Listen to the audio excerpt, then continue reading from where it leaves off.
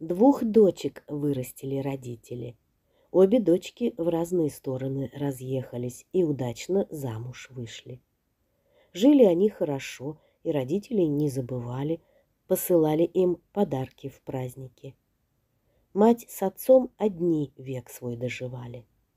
Когда мать умерла, отец решил к одной из дочек перебраться. Продал все имущество, взял котомку и к старшей дочке пошел.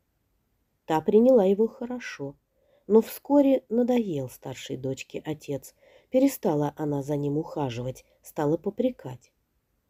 Загоревал старик, стал из дома надолго уходить. Утром надевал шапку и пальто и сидел целый день за воротами на лавочке. «Отец, зачем вы шапку и пальто надеваете? Сейчас же лето, все соседи над вами смеются», — сердилась старшая дочка. «Холодное слово и летом замораживает», — грустно отвечал отец.